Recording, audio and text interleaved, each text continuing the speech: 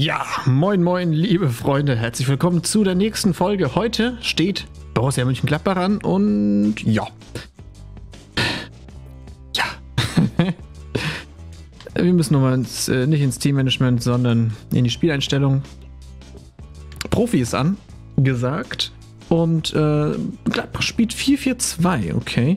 So, ich will mal irgendwie ein bisschen rumexperimentieren, wie ich vielleicht äh, beim Spielen besser sitzen kann. So ist halt der Controller direkt unter dem Mikrofon und äh, die Geräusche gehen.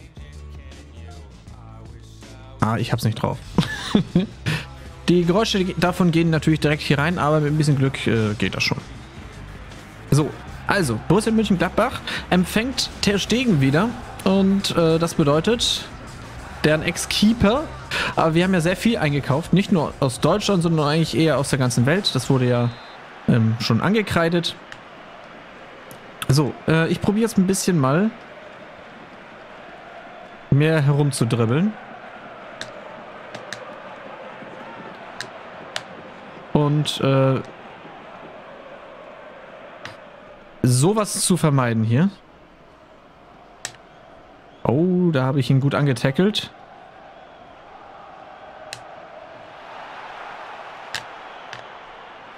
So. Okay. Elia.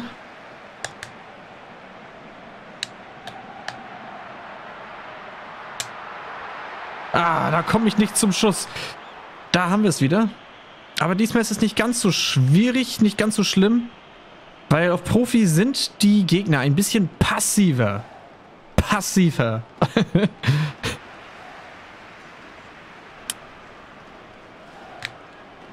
So, hier rum und nochmal zurück. Uh, nein. Wieso hat er ihn da nach vorne geschickt? Das war erstens X und zweitens habe ich noch äh, zur anderen Seite gedrückt.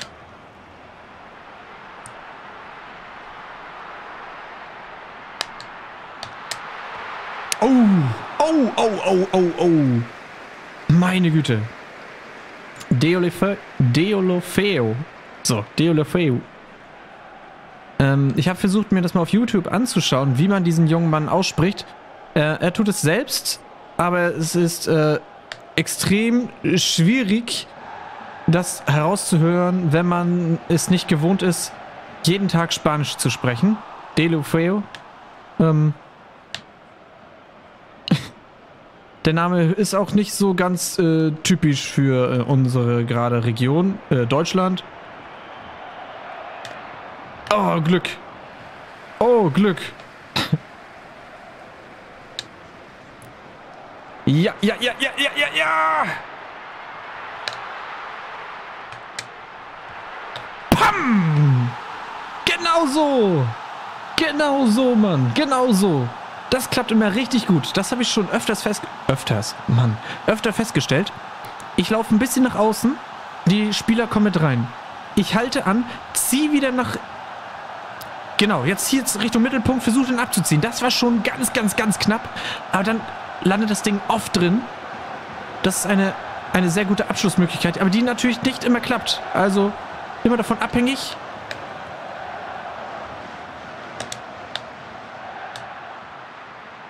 Äh, auf welchen Schwierigkeitsgrad und gegen wen und wie man spielt. So.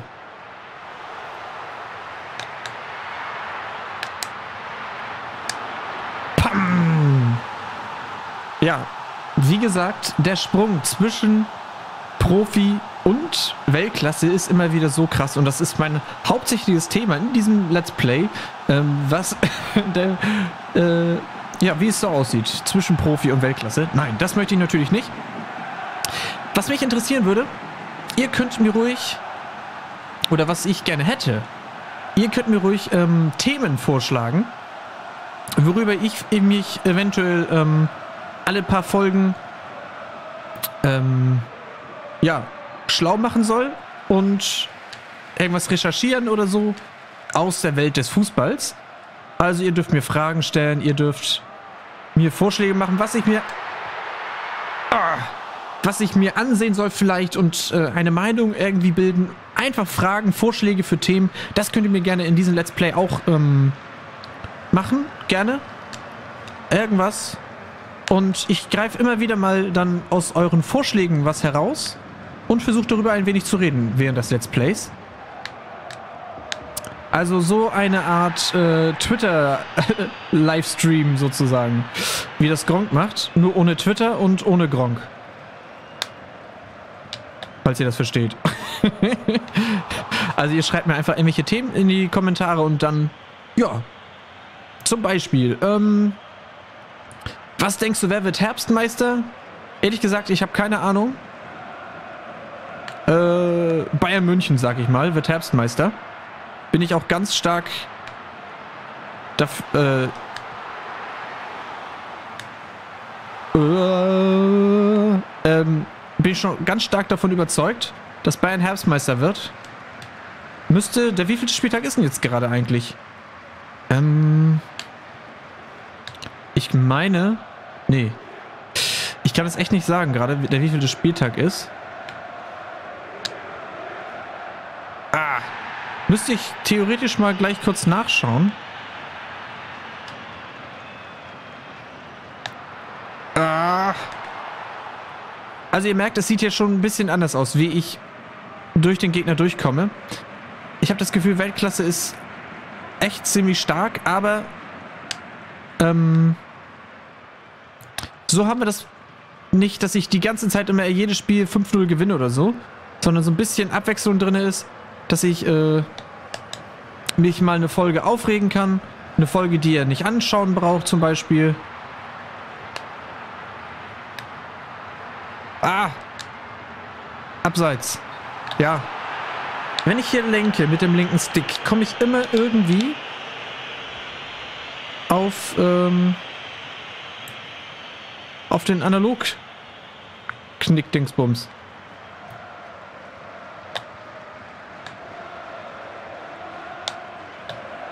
So, jetzt stehen wir auf Konter.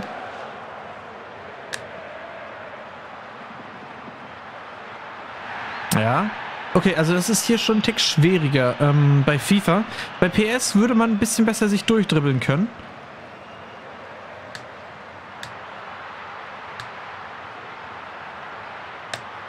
Bin ja stark PS gewohnt und drin ist das Ding. Ich werde bekloppt. Benzia schießt das Tor aus 42 Metern. Äh, in der 42. Minute.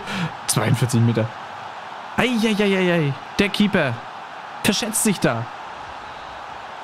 Ich dachte auch, der geht raus. Oh Mann. 3 zu 0 in der ersten Halbzeit. Ja.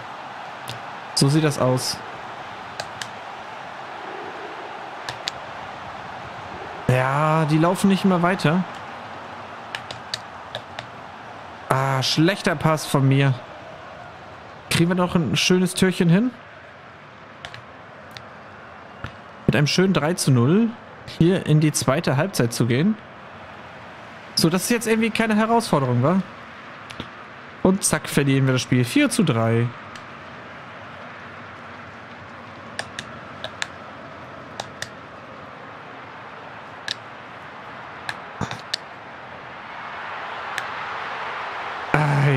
Eieiei, Deo Feo. Deo Lofeo. Ich kann es echt nicht aussprechen. Ich bin kein España. Äh, haben wir äh, spanische Zuschauer und uns oder äh, jemand, der die spanische Sprache fließend spricht? Vermutlich nicht, sonst hättet ihr es ja vermutlich schon gesagt, wie äh, der Name auszusprechen ist. De Le Feu wurde mir vorgeschlagen, aber so ganz überzeugt war ich davon nicht. Ähm. Ah, Also ich habe ihn auch schon gehört, eben wie ich das sagte in einem Interview. Er spielt ja bei Barcelona. Eigentlich ähm, sehr talentierter Spieler. Nicht nur eigentlich, sondern auch äh, wirklich. Ich finde ihn ziemlich gut. Äh, wo's?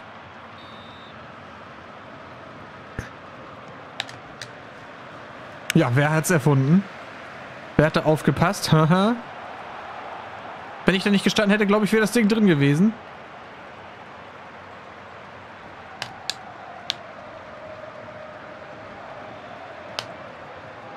Oh, oh, oh. Schalalala. Ja, ich bin echt gespannt, ob und was ihr mich fragen werdet. Äh, zum Beispiel, glaubst du, dass... Ähm, also schon gerne über Fußball, ne? Darauf wollte ich mich beschränken. Dass äh, Hoffenheim absteigt. ja, mit Werder, äh, mit Wiese zusammen.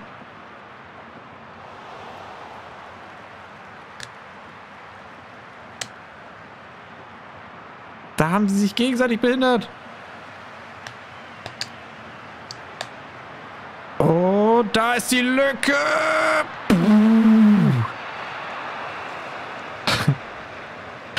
Ich verstehe nicht, wieso wir immer zwischendurch den Keeper sehen.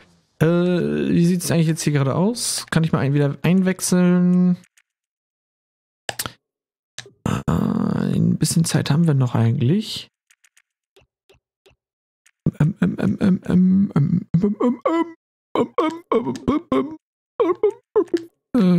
Äh, hier, das sind der Gute.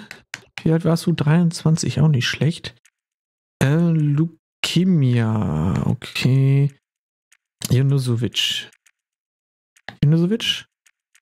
Jo, machen wir. Ups. Und weiter geht's. Sehr schön. So kann es immer gehen.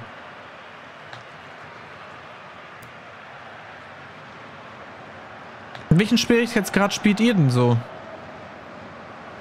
Weiß ja nicht, ob ihr das mitkriegt, dass ich hier eine Frage stelle zwischendurch.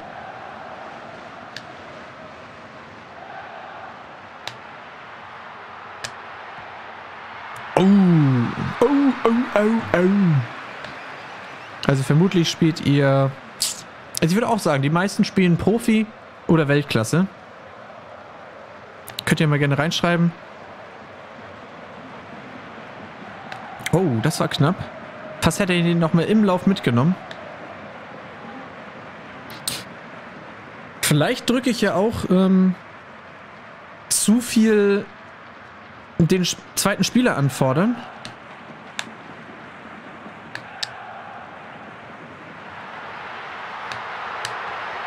Ah. Shit, ich habe da probiert reinzuschlänzen. Ah, Mann. Da fehlt mir der Skill. Mist! Da muss ich sicherer werden. Irgendwie.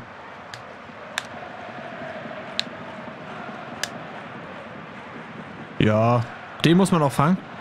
So ein schöner Fernschuss. Zeitspiel, wa? Führt ja erst 3 zu 0.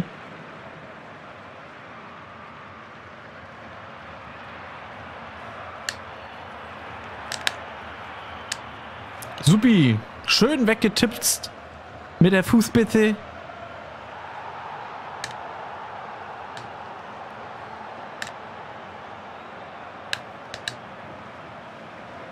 So, weiter. Wow. Freunde. Nee, da stellte sich dahinter. Oder ich weiß es nicht. Da wollte ich nicht flanken, sondern ich wollte den schön flach reinspielen. Aber das habe ich schon oft probiert und es funktioniert ja irgendwie nicht.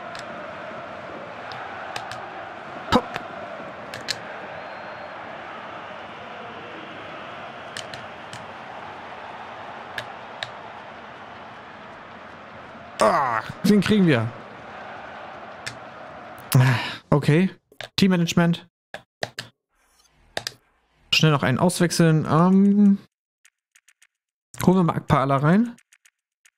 Für, für dich. Und äh, vielleicht nochmal in der Verteidigung. Oder Chesse, Chesse, Chesse, Chesse. De Bruyne. Spiel fortsetzen. So, super. Verstegen. Fünftes Ligaspiel ohne Gegentor. Ha. Jetzt habe ich es erst gelesen. Aha. Okay.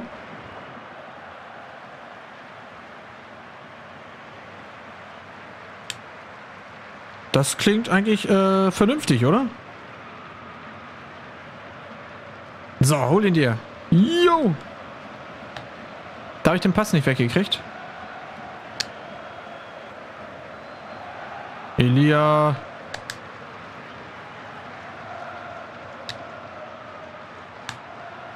Ja, da kommen sie von drei Seiten. Mann, Mist. 79. Minute.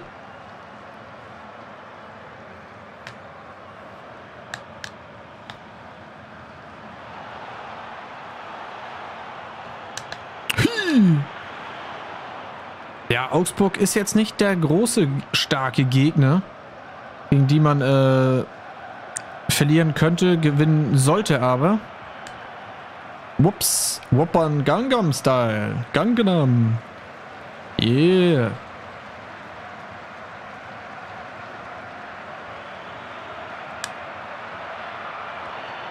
Schön abgewehrt. Super gemacht. Und jetzt go, go, go. Gut gelesen. Hätte ich da hochspielen müssen? Hm, vermutlich. Ihr könnt ja einfach mal Ja schreiben in die Kommentare oder Nein. Oder ihr schreibt äh, am besten ganz anders oder hör auf mit dem Spielen. Ey Junge, hör auf mit dem Spielen, du hast keine Ahnung. Ach was, Schiedsrichter. Arango. Ich finde das äh, Gladbach-Trikot eigentlich auch ganz schick. So von hinten sieht es sehr, sehr schön aus. Also ich, mir gefällt der Stil. Oh, der sieht verletzt aus. So von der Farbe weiß-grün. Finde ich sehr schön. Grüne Schrift.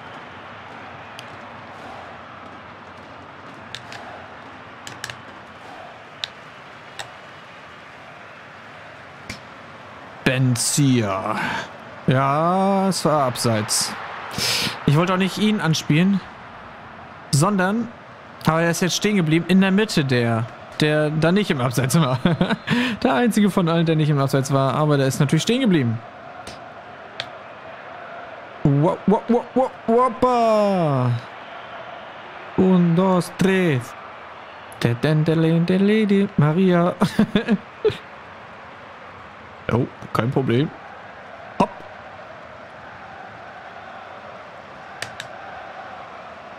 Äh? Also das wäre ein ganz krasser Fehlpass, oder? Also bei FIFA bin ich mit den Pässen absolut unzufrieden.